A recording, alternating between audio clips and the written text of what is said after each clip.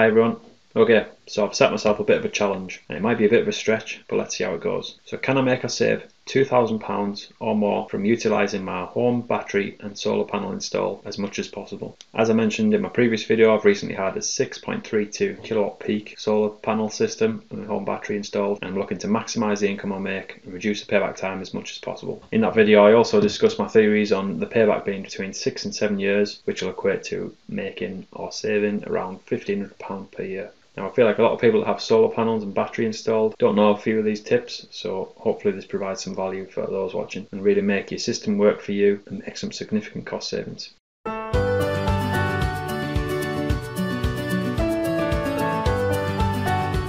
So since my system was installed in mid-December, I thought it'd give me a good chance to look at this year's usage starting from January and monitor everything for a whole year and record what we actually make or save from it. So savings of £2,000 per year will bring that payback down to five and a half years. So let's see what we can do. So let me just break this down and explain how I think I'm going to do this. So number one is my savings on my energy bills. Assuming that I'm on the standard price cap guarantee of 34 pence per kilowatt hour and using roughly 2,500 kilowatt hours per year, which is my forecasted usage for this year, then that equates to £850 per year. Now, this might also increase later on in the year depending on what the government do with the energy price guarantee. Now, obviously, I'm not going to get this figure to zero, but I want to try and get it as close as possible using a combination of off peak tariffs, charge my batteries overnight, and then utilising it as much as I can when the sun shines during the day. Now, for households that use more electricity than I do, the savings here are potentially even higher. So we're off to a good start then.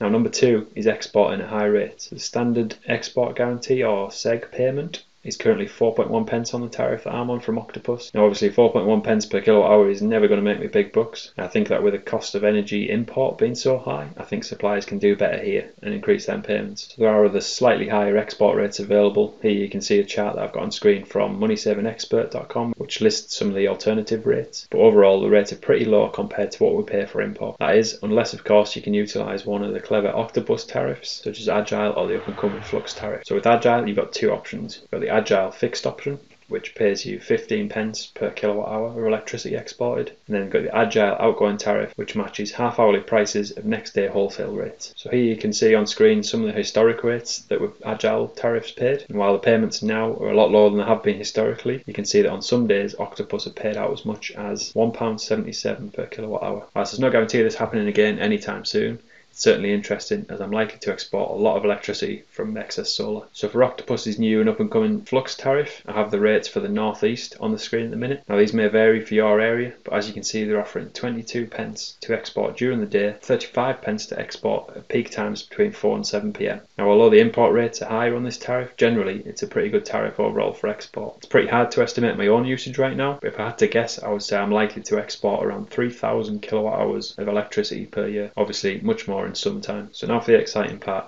At 15 pence export on the Agile fixed rate, that equates to £450 in earnings per year. At the 22 pence flux daytime rate, that equates to £660 per year. And if you took an average of the day rate and the higher evening rate of 35 pence and said we would make 25 pence overall, then that equates to making £750 per year.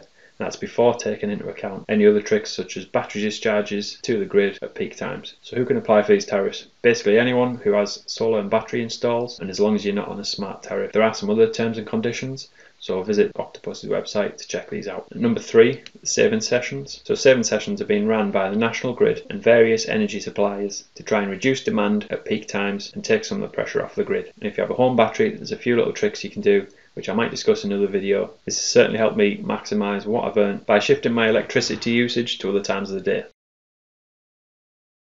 So in summary, where we at? So bill savings, I'm potentially saving up to £850 per year here, but I'm not likely to save all that. So let's go with a conservative estimate of £700 per year. So for export, assuming that I switch to the flux tariff and export 3,000 kilowatt hours per year, of electricity and we'll use a conservative rate of 22 pence per kilowatt hour and not consider any peak time 35 pence export. And that total equates to 660 pounds per year. And if we take into account 138 pound that I've earned so far from the savings sessions this year, then we get a total of 1,498 pound. So we're a little off the 2,000 pound mark that I quoted in this video.